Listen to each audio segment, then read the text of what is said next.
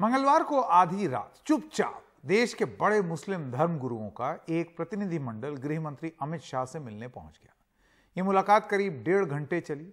इस मुलाकात में रामनवमी के दौरान हुई हिंसा से लेकर यूनिफॉर्म सिविल कोड जैसे मुद्दों पर चर्चा हुई।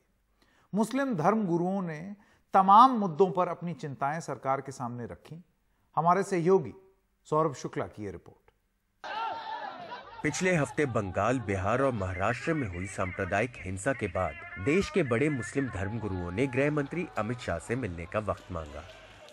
गृह मंत्री अमित शाह ने मंगलवार देर रात मुस्लिम धर्म गुरुओं के 16 सदस्यीय दल को मिलने के लिए बुलाया। प्रतिनिधि मंडल के अगुआ थे मौलाना महमूद मदनी। मुस्लिम धर्म गुरुओं ने एक एक करके चौदह बिंदु गृह मंत्री अमित शाह के सामने रखे। रामनवमी में बंगाल और बिहार में हुई हिंसा की ज़िम्मेदारी तय की जाए।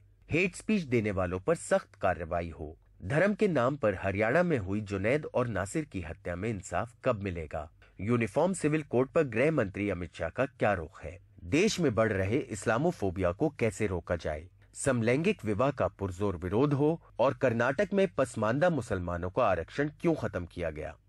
मीटिंग में मौजूद मौलाना न्याज फारूकी का कहना है कि इन सवालों का अमित शाह ने सकारात्मक जवाब दिया। उनका जो पब्लिक के अंदर पोस्चर होता है जो पॉलिटिकल उनकी स्पीचेज होती हैं उससे ये डिफरेंट अमित शाह थे।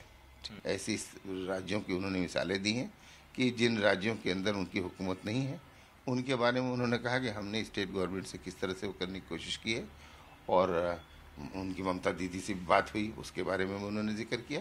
मुस्लिम मौलानाओं को उम्मीद है कि इस मुलाकात के बाद बीजेपी सरकार और मुसलमानों के बीच जो जमी हुई बर्फ़ है वो कुछ पिघलेगी। मुस्लिम धर्मगुरु इस पहल को काफ़ी सकारात्मक तौर पर देख रहे हैं। लेकिन अगर इस मुलाकात के बाद गृह मंत्री अमित शाह भी मीडिया से मुखातिब होते या बयान देते इस मुलाकात के बाद तो शायद ये विश्वास जो मुसलमानों में पैदा करने की कोशिश हो रही है, वो और पुख्ता होता। सहयोगी सुधीश कुमार राम के साथ, दिल्ली से सौरभ शुक्ला, एनडीटीवी इंडिया। और खबरों की खबर में आज इतना ही। नमस्कार.